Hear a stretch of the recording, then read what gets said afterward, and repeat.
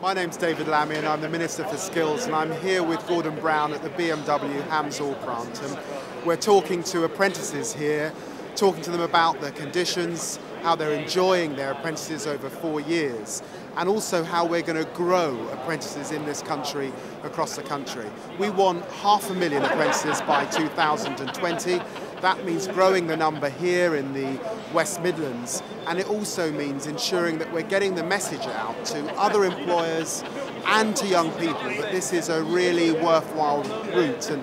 when you talk to the young apprentices and see the smiles on their faces, talking about the money that they're getting, talking about why they decided to take the apprenticeship route at 16, you realise that this really is something valuable and that it was really incredible that the number had reduced to just 75,000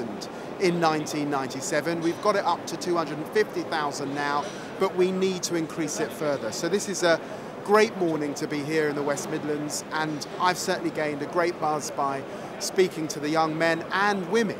who are apprentices here at BMW.